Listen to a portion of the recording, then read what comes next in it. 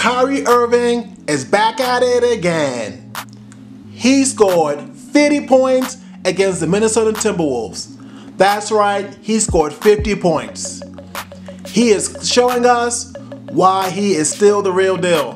This man is a primetime player, he is a baller, and he is going to lead the Nets to the playoffs. Prior to this game, I had my doubts about that. But oh yeah, the Nets are going to the playoffs. This man, Kyrie Irving, put forth a great effort.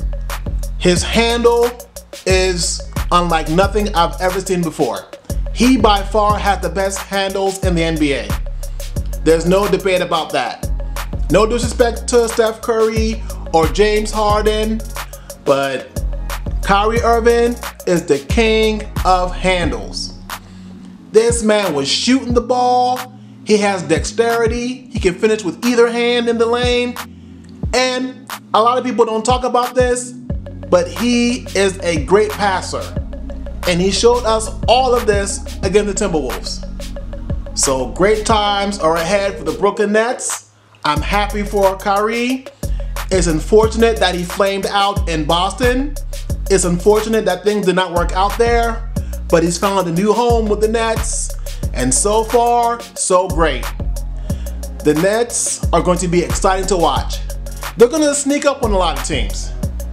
Don't be surprised if they make a deep run in the playoffs as well. They could possibly make it to the Eastern Conference Finals with Kyrie at the helm. And I'm noticing a change in Kyrie. He seems very happy.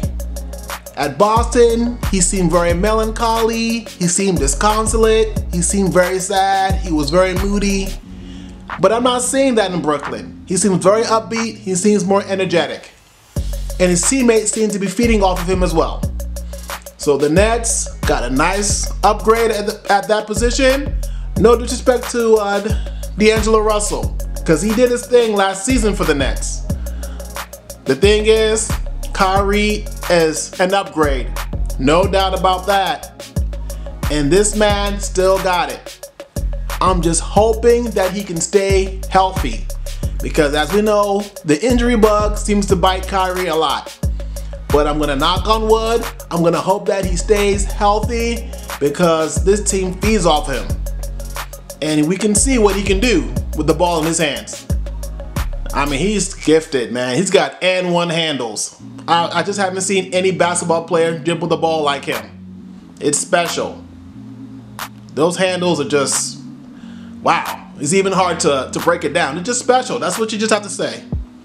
He's just so creative with the ball in his hands. And then he can shoot. And on top of that, he can pass too.